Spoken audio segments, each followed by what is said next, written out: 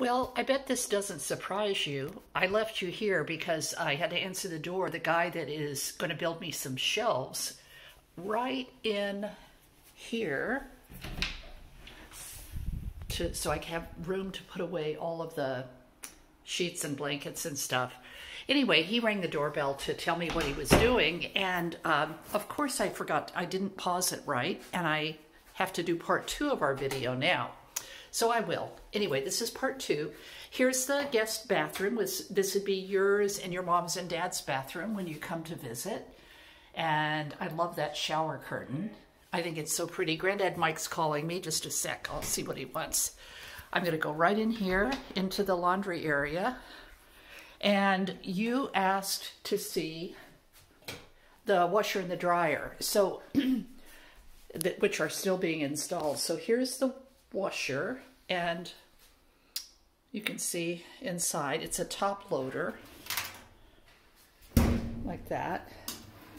And it's a I think I showed you this already it's a speed queen. And then over here is the dryer being installed. Here's granddad Mike's coffee. And it's also a speed queen but inside is just a metal drum and there's the lint filter right there.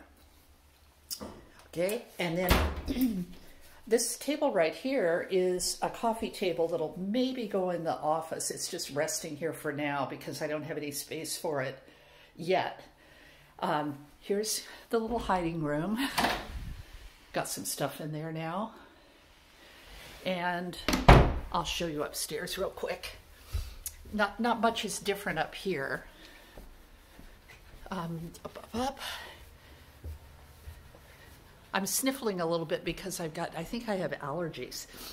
Anyway, um, I put this, this rug down here. I think this may be where I will put my rowing machine. I'm not, not super sure yet, but um, so kind of a sunny day. There's a nice sun coming through.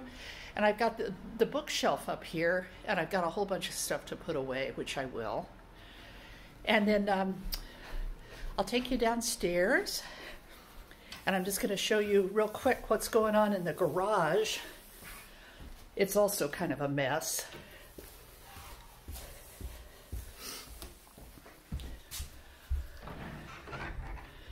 Uh, there's my rowing machine in two pieces. There's a bunch of stuff that I'm trying to get organized. So, oh, Okay, sweetie. That granddad's talking to me. I'll talk to you later.